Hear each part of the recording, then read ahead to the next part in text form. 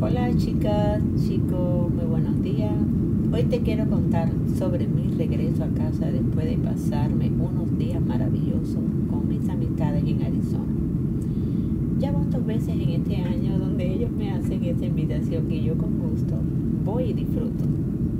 La pasé muy bien, pues fuimos a varios lugares donde les iré mostrando en varios videos que vaya publicando.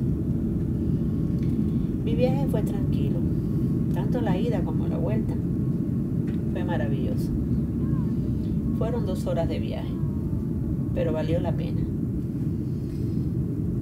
Ya acá de regreso a mi casa, pues quise grabarle un pedacito del despegue del avión. Pues tuve la suerte de poderme sentar al lado de la ventanilla, en donde hice un viaje muy bueno, muy tranquilo y hasta dormí un ratito. Ya cerca pues te pueden apreciar que hay muchas nubes alrededor, se ven lindas montañas, hasta una ciudad, todo está muy bonito. Me sentí muy feliz en esta ocasión. Y por eso al final de este recorrido te quiero regalar una reflexión. Vamos a seguir disfrutando del viaje. Todavía aquí nos encontramos en Arizona, un lugar muy bonito. Continuamos con el recorrido. Quiero que sigan disfrutando de las nubes, se puede apreciar hacia abajo casas, ciudades, algunas montañas. Ha sido un viaje muy bonito.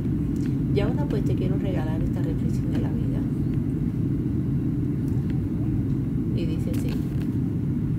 La vida me ha enseñado que siempre hay que buscarle el lado bueno a las cosas y recordar siempre que todo lo que pasa es por algo yo realmente no necesito que se me sea fácil, yo solo necesito que se me sea posible. La vida es demasiado corta para estar triste, para enojarse, para llorar, para estar deprimida, para sufrir y para ser cruel con mi corazón. No, nunca más voy a mirar hacia atrás, siempre hacia adelante. En la vida hay algo peor que el fracaso y es el no haber intentado nada para triunfar o mejorar.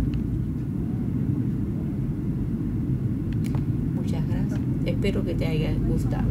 Si te gustó, pues solamente debes regalarme un like, una suscripción y comentarlo en tu comunidad completamente gratis. Solo te deseo un bonito día. Hasta la próxima. Tu amiga Marlene Nos vemos. Un abrazo.